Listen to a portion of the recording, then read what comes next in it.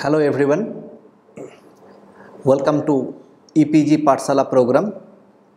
Myself Dr. Shubhabrata Dattu. I am professor and head Department of Social Work, Assam Central University, situated in Silchar. And uh, now we'll discuss Gandhian model of rural development under the course rural development. You all know the Gandhiji, the father of the nation, has a vision and has worked towards the development of the rural areas in our country. And in Wardha, 1935, he has conducted some programs over there and he showed to the nation how specifically the rural development should be. And according to his vision, it is treated as the Gandhian model of rural development. If you just see, the Mahatma Gandhi, as the visionary of India, had a very clear perception of its villages and made an emphatic assertion that India lives in her seven and a half lakhs of villages. During our independence, that much number of villages we had. And he had a vision that that should be the target because India lives over there. He further believed that India will have to live in villages, not in towns, in hearts, not in palaces. He held his conviction by saying that if villages persist, India will persist too. That means India lives in villages and that villages should be pro- progress, make progress, and accordingly, the country will progress. Gandhiji played the leading role in securing for Indian political independence from British Raj through organizing and mobilizing Indian people from all walks of life in a peaceful and non-violence manner. Basically, here, when he was doing work for the political independence, simultaneously his work for the rural development was going on. He is therefore called the father of the nation. That's why he has been given the term father of the nation. Now, Gandhiji's approach to India's rural development was holistic and people centered. People is the center, and accordingly, all the work to be conducted and planned accordingly. It was rooted in his conviction in the tenets of truth, nonviolence, and the godness of human beings. Influenced, he was influenced by Tolstoy, Ruskin, as well as the teaching of Gita. He placed more emphasis on moral and spiritual values than economic motives as a means of overall development. That means not only the infrastructural development, not only the materialistic development, his emphasis is more on the spirituality and the overall development of a human being. He found that the progress of the country lies in the development of majority of its rural villages, develop rural economy, industry and rural skills.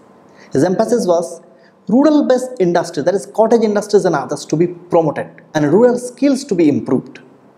Gandhiji found the only way of bringing hope of good living to the rural people is by making the village as a central place in the economic program rural development as outlined by Gandhiji contained self-sufficiency, interdependence for other wants and development of village industries. That means village will be self-sustained in nature.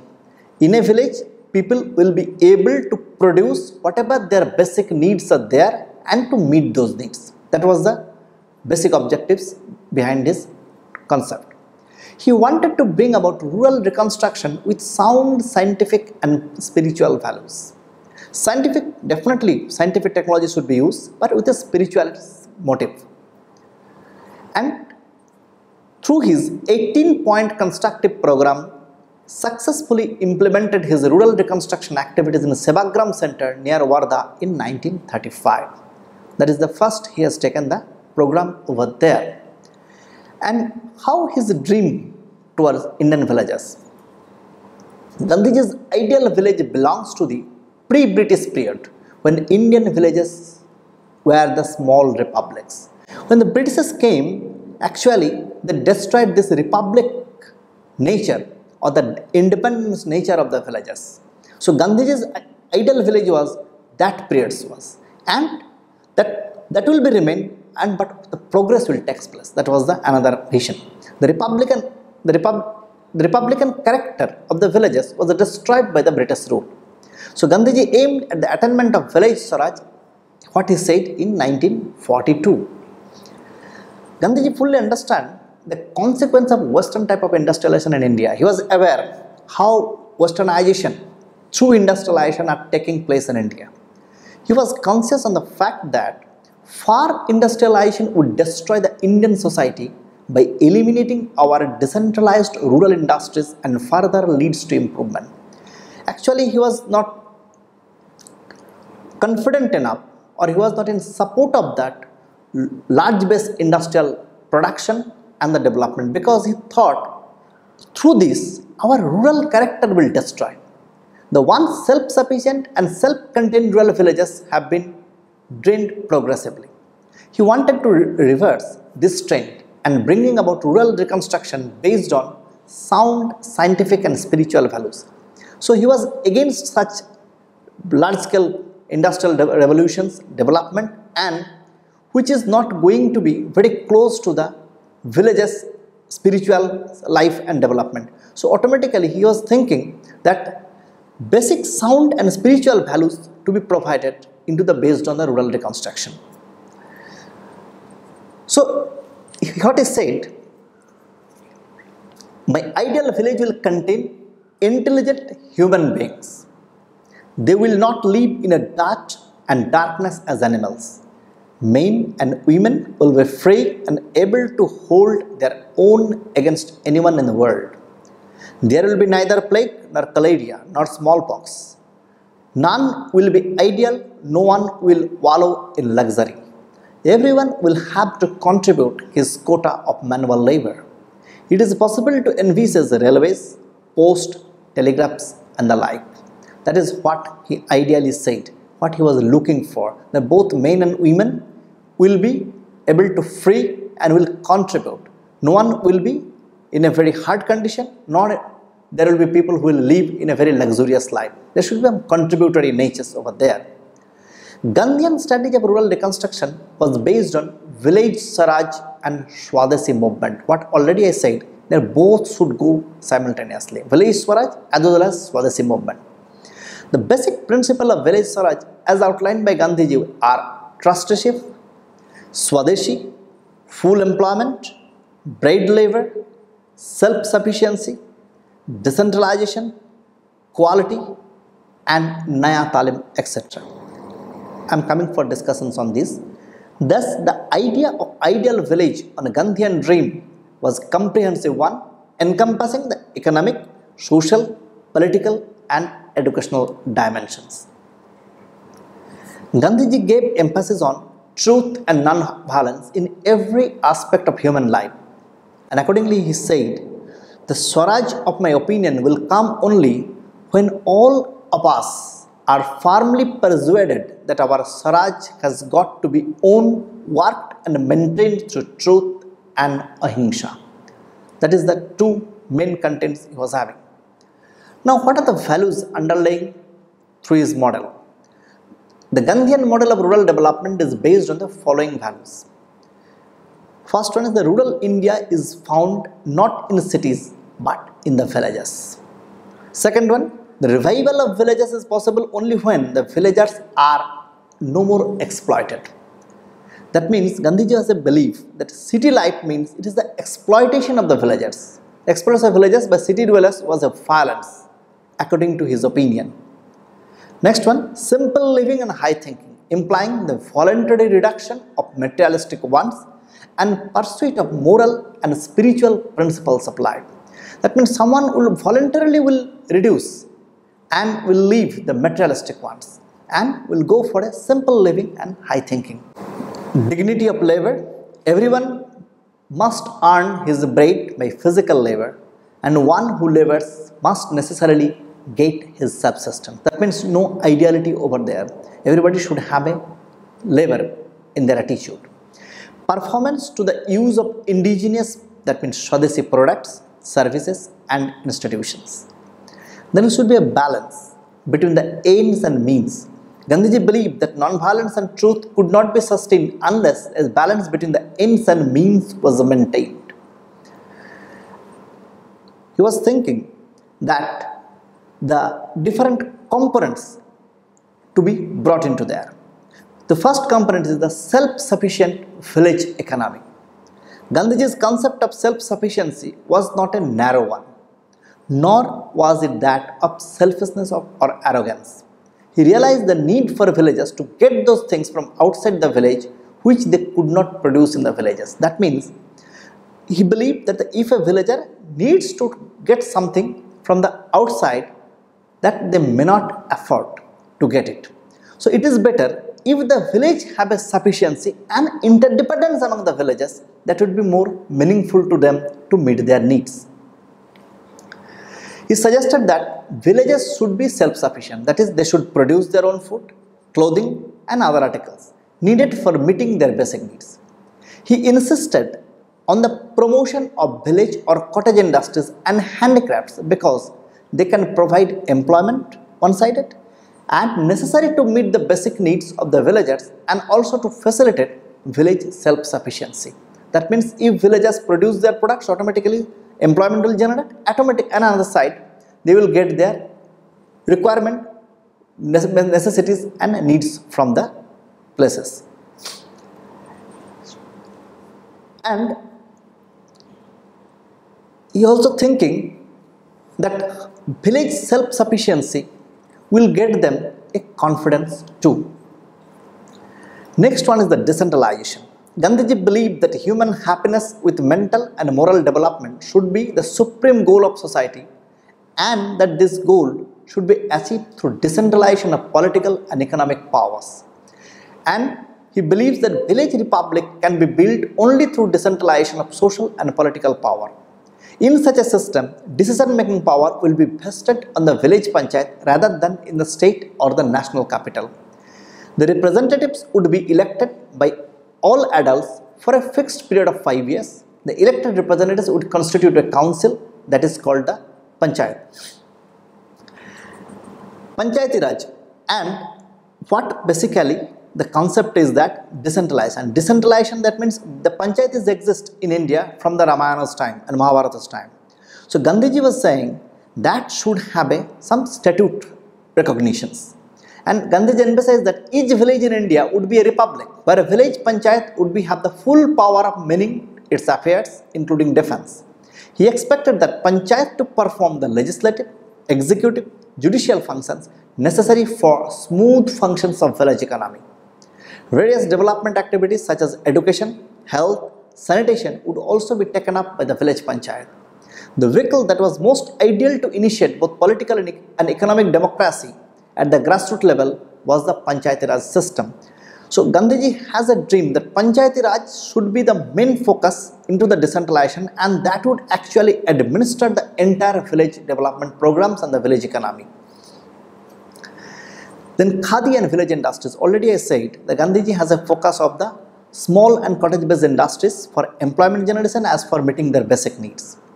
So Khadi was an instrument of decentralization of production and distribution of basic necessities of life and ensuring work for all what he says. He also favored the promotion of other village industries such as hand grinding, hand pounding, soap making, paper making, mental, uh, metal making, oil seeds, crushing, tanning, etc. which is very simple technology required and raw materials available in the village itself. He advocated the use of manual labor and opposed the introduction of machine fearing that they would displace human labor. But he appreciated the role of new technologies if they were appropriate, indigenous and did not affect the level of employment and standard of living. So always he was in favor of labor oriented machines through the technology that will generate employment and that will generate the productions in a better way. Then the cooperatives. Gandhiji saw a great virtue in cooperation as an instrument of rural development. He assigned specific roles to cooperatives in the field of agriculture, commanding the promotion of cooperatives farming and thereby preventing further fragmentation of landholding. That means there were landlords. So if the small farmers comes together and make a cooperation cooperatives and through this better production possibilities are possible. India now has the world's largest network of cooperatives which occupy the important place in India's rural economy. The Operation Flood program is a living example of what cooperatives can do to promote agricultural and rural development in India. And then trusteeship. Gandhiji considered trusteeship as an instrument of transforming the capitalist order of society into an egalitarian one. In his opinion, all the land belonged to God that is the community and therefore he advocated that land and other natural resources should be collectively owned by and operated for the welfare of the community. In his time there is a Jamindar Raj was there. So due to that large land holdings were taken by the Jamindars. So he was thinking that if trusteeship can be prepared then the land will be go to the trusts and accordingly the farmers can come and make the production that will be more in quantity and more earnings possibilities are there. According to Gandhiji, trusteeship is the way of life rather than just a method of achieve a particular end. That should be a regular habitual practice. According to his holistic approach, everything on this earth belongs to God and is from the God. So ownership, individual ownership, he was not in much favor into that. Rather he favored trusteeship and earlier I said cooperation and the cooperatives. Village sanitation. The ideal village emphasized by Gandhiji could be constructed on the basis of the principles of public hygiene and sanitation. Because that is very essential that hygienic living and proper sanitation into the village areas. The houses which are to be built with locally available material and would have sufficient light and ventilation. That means hygienic condition to be maintained. Each house or a cottage shall have a courtyard to grow vegetables for domestic consumption and to house cattle. That means earlier what I said that a self-sufficiency that means the uh, house itself will have a vegetables garden and that will be fulfill their domestic consumption as well as their cattle they are uh, keeping that will also meet their needs too. The village streets and lanes should be kept clean. The habit of sanitation should be there. Each village shall have its own water works to ensure clean water supply. That means village itself should have a water reservoir for the same. Removal of untouchability. Untouchability is a social level and should not be looked upon as a merely political necessity the socio-economic evils associated with this system must be abolished. We all know that Gandhiji has always fought against the untouchability because it is the heinous crime in the human earth and untouchability makes a human being morally down into the nature. According to Gandhiji, there should be perfect social equality among the people. The society no social superiority should be entertained by any individual or by a section of the society on the ground of birth or knowledge or religion or any other consideration. That means human being is the above all. Whether the birth, knowledge, religion or other consideration cannot be treated as a human being for his or her recognition. In 1932, Gandhiji introduced Harijan Sevak Sangha, a non-political association for their self-improvement. That means a section of population was treated as untouchables by another section of population. So those were treated as untouchables. With them, Gandhiji formed the Harijan Sevak Sangha and he suggested their economic self-reliance through the adoption of spinning and weaving. For them, he has started the spinning and weaving programs for their own self-reliance. Naya Talim, it is an educational pattern. Gandhiji has certain objections towards the modern system of education that time. So he had no faith in the modern education which emphasized only literacy and acquisition of information. In his opinion, modern education was debauchery of the mind. Hence, he de developed new system of appropriate education and training which is called Naya Talim. his new pattern of education treated by the name Naya Talim. He believed that Naya Talim would be help to develop the full potential of children and adults through full development of their bodies, minds and spirits. Actually, spiritual development was always in the center into the Gandhiji's mind.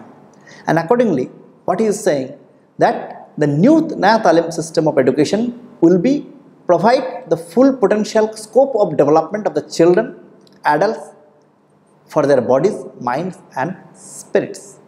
He wanted to see Naya Talim to be self-supporting and practice-oriented. Now there are different positive as well as negative pros and cons on the Gandhian models. Those who are in favor, they argued that the, under the prevailing socio-cultural economic condition in India, the Gandhian model is still relevant and is the only alternative viable for bringing about equitable and sustainable rural development. If we just see the different successful cooperative programs, whether it is the programs of Amul, whether it is programs of Lijjat Papad, this is actually the Gandhi's concept of cooperatives. Still, it is relevant today. Second thing is that the as such the Panchayat Raj institutions is the foremost and been treated 73rd and 74th amendment that is Panchayat Raj institutions and municipality and municipal corporations are the best innovation after the independence in independence India. So what Gandhiji thought and visualize, still a proportionate of that is very much relevant. Until today's Indian present socio political cultural and economic conditions. There are certain con sides of the model also. Like someone says the Gandhiji was always opposed of the large scale industrial production. Is it possible in the today's globalized and liberalized condition, large scale production will not be takes place? So definitely there is a requirement of the large scale production. But what Gandhiji's views, it is not supportable, but it is required. Whereas the spiritual kind of education is required but technological education is also in need because without that progress cannot be possible. Because lot of innovation and invention in the area of technological side have been taken place. But on the other hand trusteeships that is also example and have taken this example by the other countries also. So that is very much supportive manual labor manual labor day by day will reduce. We cannot ignore that but different technologies are there that could have been used. If it is not then Gandhian model is not supportive in that direction. So there are both the ways. It is relevance in certain areas it is certain areas questionable. We cannot say that is it is irrelevant. Certain areas it is challenged or it is questionable as per the Gandhian model are concerned. So now in this total sessions we started with the concept of what Gandhiji's visions. His visions is the village self-sufficiency and the villagers itself should be self-sufficient enough to meet their own basic needs, to create their own employment with the simple technologies and to produce their products and they will be interdependent among the villagers. and the villagers should not be under any circumstances would be the subject of exploitation for the development of the cities and towns. So at the last to sum up we can say that is the Gandhiji was in the belief that in the village sufficiency, self-sufficiency. That means the villages will be self-sufficient to produce their own product to meet their basic needs and there should be an interdependent among the villages and the villages never be subject of exploitation for the development of the cities and towns. Gandhiji has always the two visions that is the Ahimsa and Swaraj. both, that means non-violence and Swaraj both will go together. He was in favor of simple technologies oriented innovative products. If the simple technology can enhance the skill of the villagers so that it can generate employment and it can produce the products of their needs. They should produce their own food, clothing and articles that will meet their basic requirements and also this will create employment. Gandhiji was in favor of cooperatives and trustship. Through this, village economy will have to the control for the all, not only under the few individuals are the landlords or the jamindars. So he believed through the cooperatives and trustship, the ownership will be on the majority's hand and everything in this earth is under the control of God. He was in favor of Naya Talim, that means it's different kind of education. Not only the modern education, what was going on, because he was think he, in his thinking, it was not in favor of the spiritual and cultural development of a human being. He was always in trust that village should be fully sanitized in nature. That means fully hygienic in nature. They should have been a practice of make themselves very clean so that their health life as well as the sanitations and the cleanliness will remain into the villages. Gandhiji was in favor of the decentralization of the system and that's why he was in favor of the Panchayati Raj where village republic will look after the village administration, village development and overall the progress of the villages. The representative of the villagers will look after themselves. Not only it will not be controlled by the state or by the nation. The model has both pros and cons. Somewhere it is in favor. Some of the programs are challenging in today's conditions. With this, this session ends and for more explanation, understanding, you can go for the e-text that would be supplied and there are certain references are also given that would be helpful for you. Thank you.